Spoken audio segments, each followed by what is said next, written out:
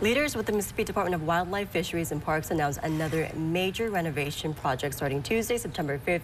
Percy Quin State Park will close all RV campsites, the primitive camping sites, and the bathhouses.